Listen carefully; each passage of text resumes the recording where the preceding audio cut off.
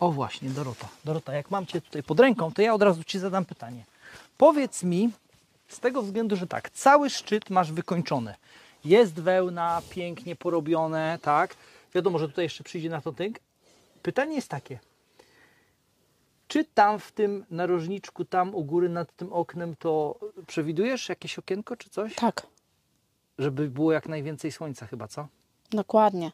No, słońce jest ważne jednak, bo to jest takie dzienne, naturalne światło. Aha, okej. I Jak się coś e, robi, to, to ono jest naprawdę bardzo potrzebne, bardzo przydatne. Super, dobrze. Czyli tak, tutaj przyjdzie jeszcze okienko. Czyli to jest takie typowe jeszcze do domówienia. I dokładnie tak, samo będzie z drugiej strony. Tak, Powiem, słuchaj, dom jest przepiękny. Po prostu, słuchaj, no ja myślę, że chyba ktokolwiek nie przyjeżdża, to podziwia i mówi, że jest petarda. no jest, jest już. Jest.